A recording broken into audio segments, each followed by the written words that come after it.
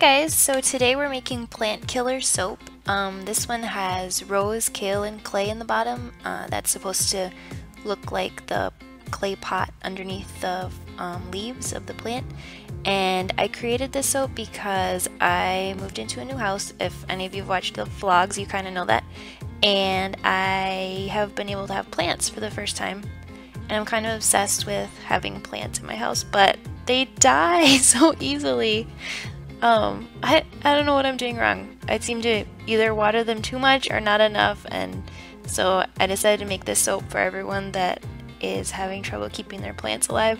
If you can't keep plants alive, you can at least have this soap. So um, this soap is a coconut um, coconut milk soap, so it also has coconut oil, but coconut milk in, um, I'm mixing that in, you can see now, so I'm mixing that into the oils. I like to use dry coconut milk because it gives me more control over the liquid in my soap batter. So I'm just mixing that in, um, getting it all blended, and I have more control over how much fat goes into the soap batch because when the coconut milk is dry, it's all evenly distributed. Distributed? The fat's distributed. Anyway, moving along, mixing it all up, we'll just add the lye in there. We're getting it a little bit emulsified.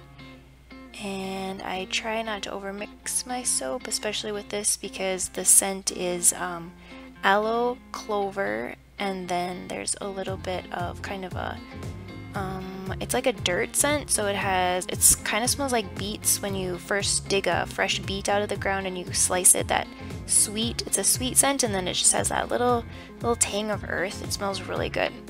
So anyway I'm just mixing this soap up right now and we will pretty soon put the color put the um, green part measure that out and then add the rose kaolin clay for the bottom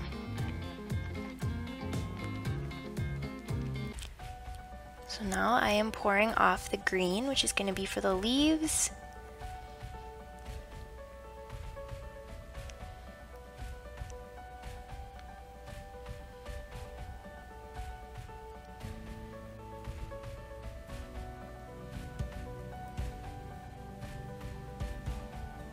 And I'm using a green oxide for the green color for the leaves.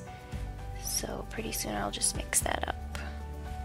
But I think I'm going to put the rose kaolin clay in the base part because it was getting a little thick at this point. So I like to put my clay powder in dry and then I add a little bit of water to it while it's in the soap batter. It seems to help it um, mix more thoroughly and evenly so I don't get clumps of clay. And I don't have to use my stick blender when I do it this way. I just kind of mix the water in with the clay and it works really well. So that's what I always do. Especially if you have a scent that's getting a little bit thick, you don't want to use your stick blender and this prevents getting clumps in your batter.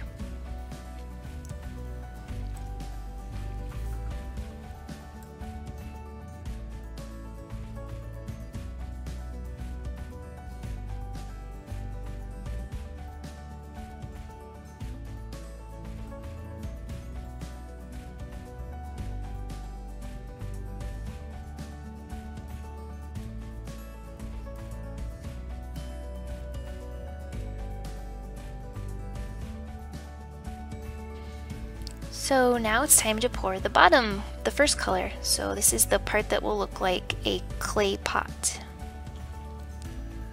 And I noticed that my soap batter was getting a little, it may look sort of runny and thin, but for me this was getting kind of thick and I didn't like it. I was getting nervous at this point.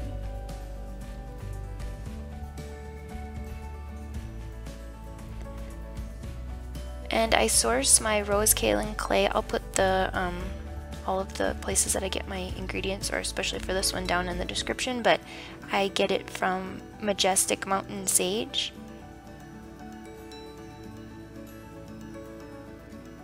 And I have got um, bought rose clay from different places, but I find that the Majestic Mountain Sage is really good. I also like the Brambleberry one too. They're their clay is a really good color. Um, some clays that I've bought, the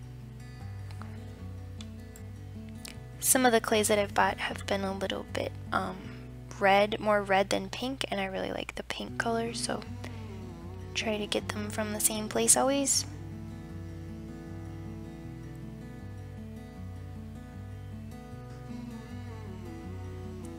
And once you find a supplier you really like, I, it's hard to when they discontinue something.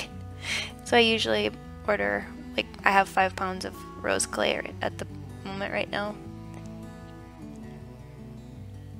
Okay, so now I'm going to mix up the green oxide color, and that will be the leaves.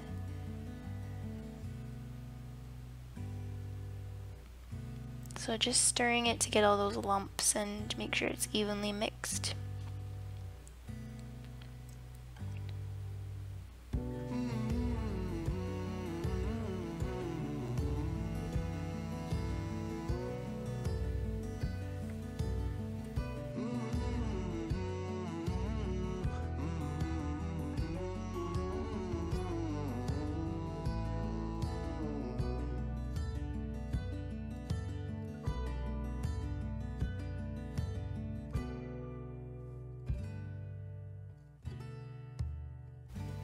So there were a lot of lumps. It was starting to get lumpy and thick and hot, really hot. And the base part, the um, rose clay, was already solid at this point. So I was a little worried pipe because I was going to decide, I decided to pipe the leaves on top and I was a little worried that they would not stick to the base because it was so hot and firm, but it actually worked, so you'll have to see. So I'm just smoothing out those lumps, trying to get them nice and smooth and mixed back in so it's all one texture. And it kind of worked. So now I got, have my piping bag and I put some um, green oxide down the edges because I was trying to do like a color, different color difference, um, trying to make it like highlight. I don't know what I was doing. It didn't work.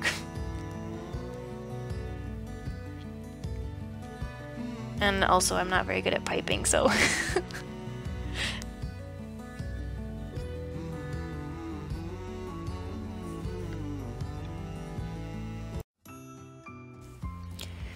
So this is my sad attempt at piping. and I did not know what I was doing. So now I decided that I would just pour the bottom part in and then pipe on top of it because it was getting really solid and I was afraid I wouldn't be able to get it into my piping bag anyway so I just decided to go with this and it actually worked pretty well.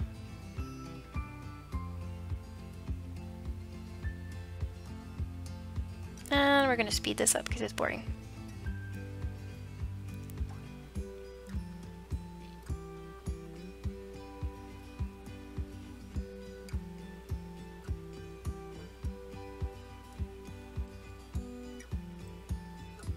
Okay, now I'm to pipe on top of that layer. So, let's see if I can do this a little bit better.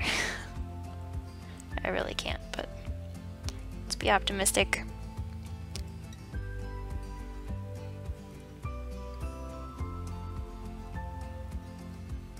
And this is how slowly I was piping. oh my goodness. Uh, I'm so slow at this.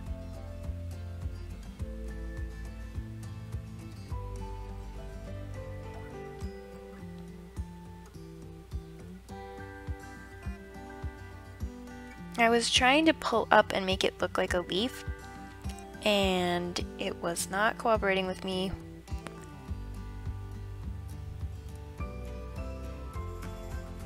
So let's get this done a little bit faster. And I'll show you what I actually ended up doing after the piping. I mean, the piping worked okay, but it wasn't it wasn't great. Let's be honest. it was not great.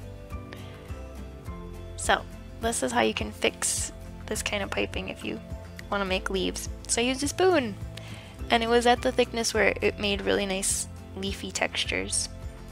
I did about a thousand little spoon marks.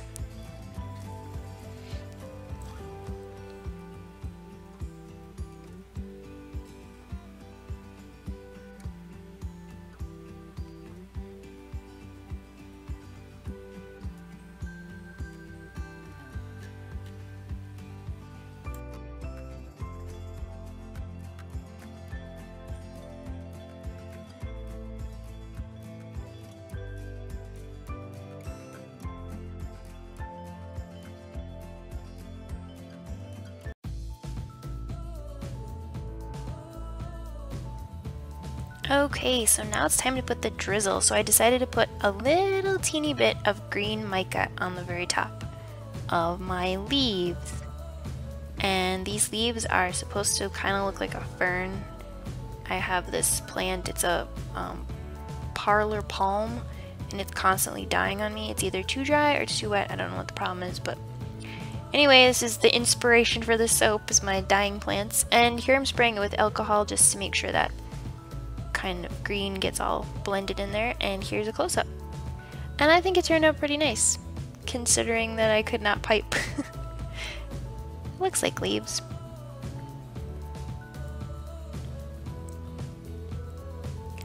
But now let's see the cut pictures, right? Here they come.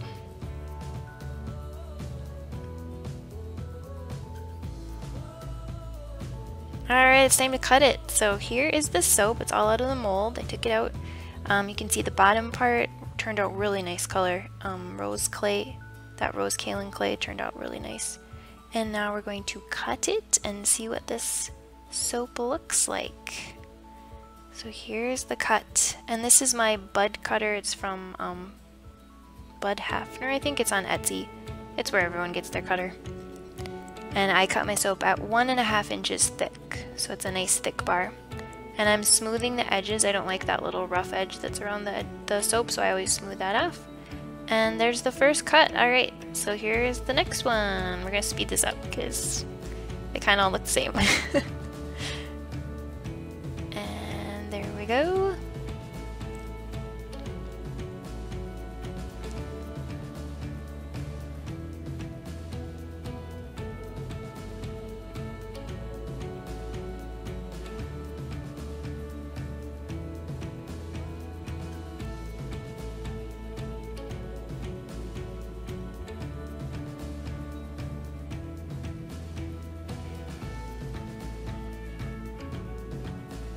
And if anyone is wondering, I get my molds from Wholesale Supplies Plus, and I don't get any sponsorship for any of these people from any of these people, but that's where I get my molds. And I get my um, my stamp that I'm going to be using. I got that from Laser Cut, and it's really nice. I would probably go with one of the metal ones that they have instead of this. Um, I don't remember what it is, but it's like a plastic because the handle broke off right away. But there's the cut bar with the stamp, and and I think it's pretty cute. So I will have these in my Etsy shop pretty quick, pretty quickly, and you can get a bar for yourself. It smells really good. I'm definitely stealing one for my shower.